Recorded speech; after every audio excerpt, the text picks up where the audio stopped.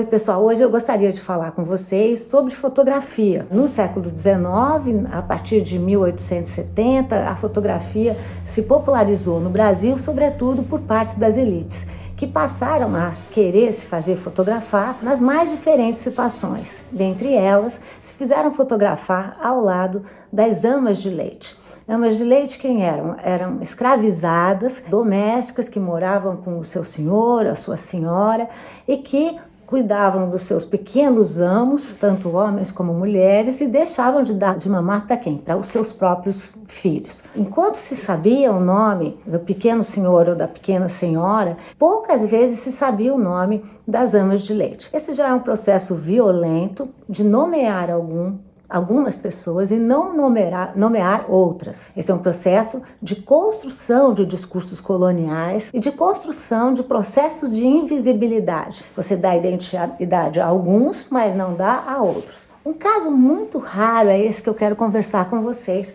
e aconteceu com a ama de leite chamada Mônica. Raro porque em geral nem o primeiro nome se sabia. Mônica foi fotografada por duas vezes, a primeira na década de 60 e a segunda no final da década de 70. É possível ver já na primeira foto de 1860 que Mônica está ao lado de seu pequeno senhor, né, que se chama Augusto Gomes Leal, ele é da família Leal. Sabemos o nome composto, o nome e o sobrenome do pequeno senhor, não sabemos o dela.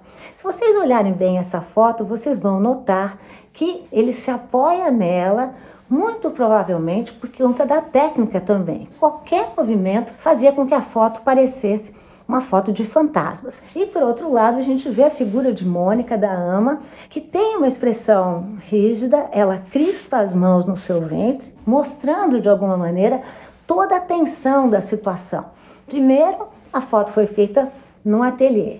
Quem deve ter pago foram os senhores. Nós sabemos que nessa época fotografar escravizados era um costume, porque era uma forma de mostrar hierarquia, mostrar poder, né? mostrar riqueza. Mais ainda, ela seria responsabilizada para que a foto não tremesse. Fica evidente, como nessa fotografia, o que deveria ser só um pacto amoroso, na verdade, é um pacto cheio de contradições. Mas o que há de excepcional nesse caso? Não só Mônica aparece com seu primeiro nome, como Mônica aparecerá numa segunda foto, essa tirada ao lado de uma adolescente menina. Tudo indica, pela diferenciação de datas das fotos, que Mônica permaneceu na família por muito tempo pelo menos 20 anos. Mônica, nas duas fotos, encara o fotógrafo, essa é uma pequena agência que diz muito de Mônica, que de alguma forma construiu o seu processo de nominação a partir do seu gesto, a partir da sua posição. O fato é que